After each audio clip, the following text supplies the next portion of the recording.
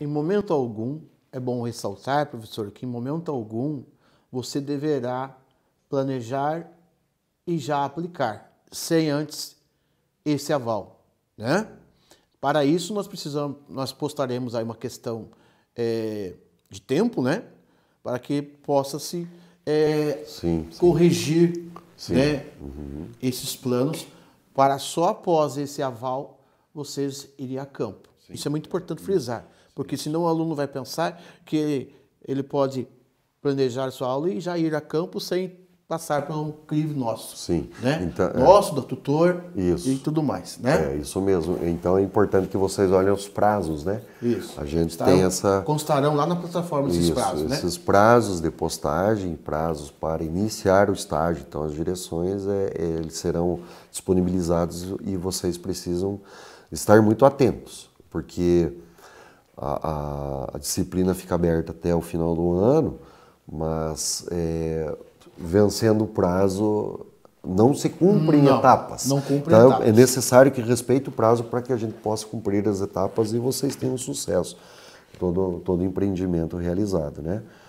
Então, o aluno vai começar as direções após toda essa, eh, essa caminhada, né? vocês começarão a, a, a dar as aulas, né? ministrar aulas. Seriam direções de aulas e, ao mesmo tempo, observar né? as aulas dos seus colegas de curso.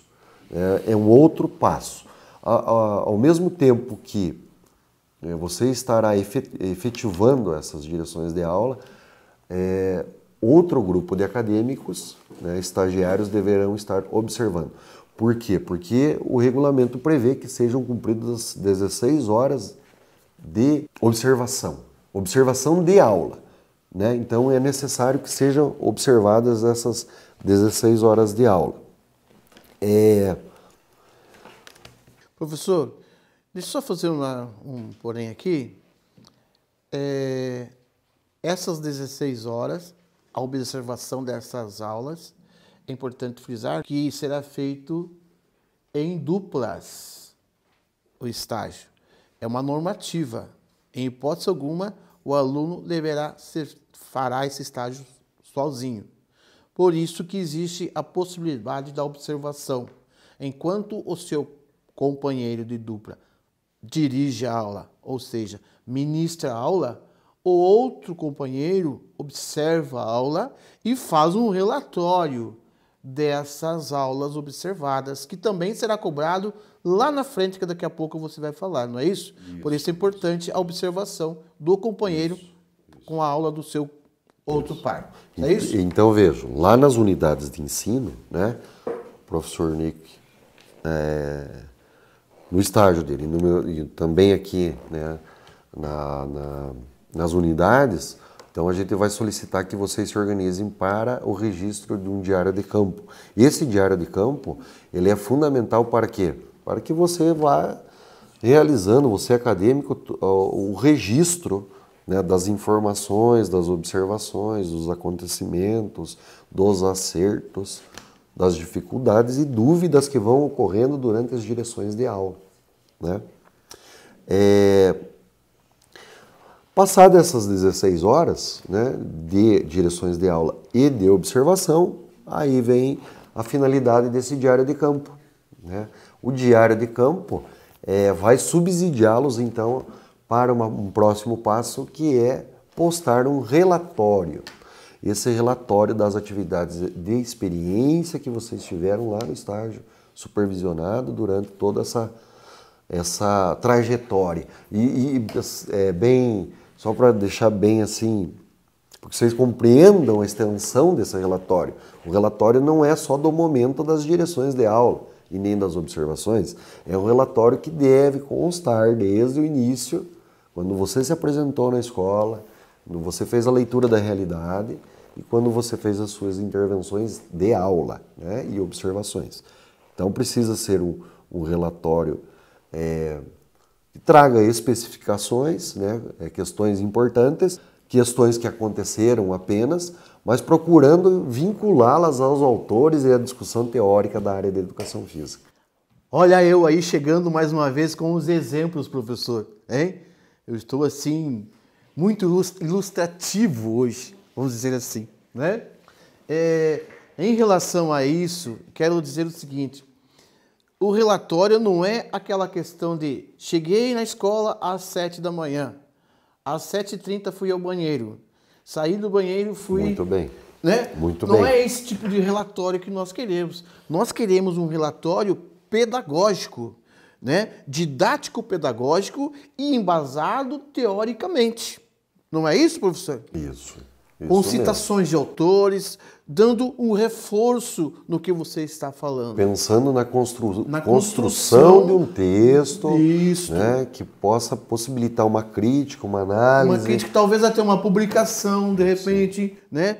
Tem muitos casos nossos no presencial que nós temos textos de estágio, de relatórios que transformaram-se em artigos científicos, certo? Então é essa a ideia, né? Isso e mesmo. mais isso uma mesmo. vez frisando da importância do estágio também. Olha só para onde que vai esse estágio. Ele transcende, não é isso? E o aluno tem que estar ciente disso, dessa transcendência, não é isso? Sim, não é, não é apenas um, um proforme, um protocolo a ser cumprido. É. né? é um momento, então, que o aluno pode, então, aí, é, pensar a realidade escolar. É, é uma formação muito importante, né? um momento muito importante da formação. então, Ímpar e e único. que vai subsidiar o acadêmico durante toda a sua vida profissional, inclusive. sim. Né? É, então, vejo, depois, a- realizada né, é, essa questão do, do relatório, é, vocês vão, então, pro- procurar assim, produzir a respeito do que vocês viram. Para finalizar, é, então, será necessário postar é, toda a documentação, que é o que nós pedimos no final, né? Nós vamos pedir no final aí das unidades que vocês postem, então, uma... Ontem, né? Labora ontem. A gente chama de pasta, mas nesse caso, como é postado, sequência, uma né? sequência, né? Então a gente tá- nós estamos pedindo lá a partir é, de uma estrutura disponibilizada lá na, na plataforma que vocês postem toda a documentação solicitada no regulamento e na resolução 44 da Unicentro, né? Todas essas é, esses formulários que nós citamos aqui, entre outros. Tem mais alguns formulários, por exemplo, é, como é a ficha é, da participação de vocês em aulas. É, tem um outro formulário que se chama é, Participação em atividades oficiais da escola. Outro formulário que se chama Participação em atividades extra em educação. que Daqui a pouquinho eu vou explicá-los. Né?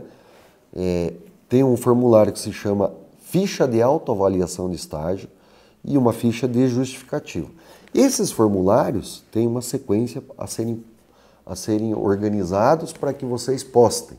Todos eles devem estar preenchidos com as respectivas cargas horárias e com a assinatura do professor externo, que é aquele supervisor que vai te acompanhar no estágio e vai é, é, firmar né, a assinatura constatando a sua presença em todos esses momentos. Então é necessário que vocês olhem eh, todas essas fichas. Elas correspondem cada uma a uma quantidade de carga horária a ser executada, né? Uma etapa. a uma etapa. Então eu preciso que vocês organizem, bem como, além das fichas, a postagem do relatório. Talvez um pouco melhorado ainda, por quê? Porque vocês podem ainda, nesse meio tempo, até as- a- o momento da sexta unidade, é, trazerem mais reflexões, né? É, analisarem de forma diferente daquele momento que vocês postaram outro olhar, né, com outro olhar, então vocês podem melhorar. Mas precisa melhorar? Talvez não. né? Se você sentir que o seu relatório contempla as informações, então vocês só vão anexá-lo então nessa sexta unidade novamente para que a gente então forme essa sequência de documentos. É muito importante pensar nessa sequência porque é uma sequência de documentos que vai é, Finalizar. finalizar, comprovar, essa é a palavra. comprovar. né? A gente precisa As comprovar etapas as etapas e finalizar. E finalizar. Né? É, um, pouco, um pouco antes das fichas, é importante então que vocês tenham uma estrutura ainda lá que vocês façam uma breve introdução né, é, a respeito de tudo isso antes do relato. Então faz a introdução, coloca o relato e todas as fichas que nós pontuamos agora. É, chamar atenção só para mais uma questão, que é a questão das, das horas, novamente, né, para que fique bem assim é, claro e, e que a gente faça um reforço a respeito da questão da carga horária a ser cumprida.